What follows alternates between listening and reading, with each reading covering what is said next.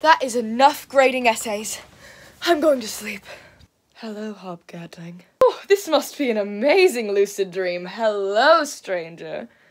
My name is Lord Morpheus. Mm-hmm, yes, I'm sure you are. Man, I wish this were real.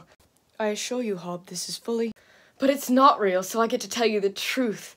You're the most beautiful man I've ever laid my eyes on in my entire life. What? And I've been madly in love with you since 1489, and all I've ever wanted to do is kiss you. Go on. Of course I'd buy you dinner first, but not as strangers, as lovers. Would you?